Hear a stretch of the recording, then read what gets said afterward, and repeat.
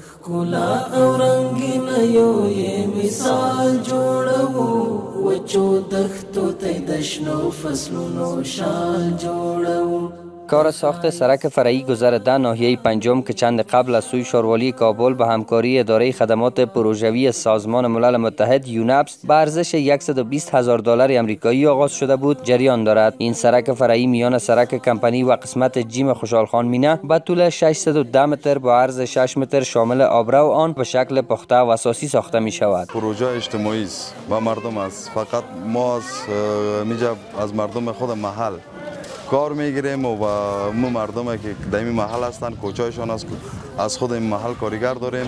دیگه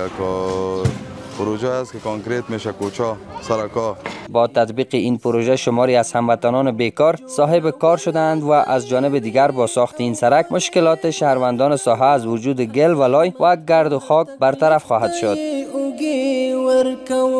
خپل د ژوند د قیمت وخت او شبه ورکو پتړه کو د نازک لاسونه پخې ورکو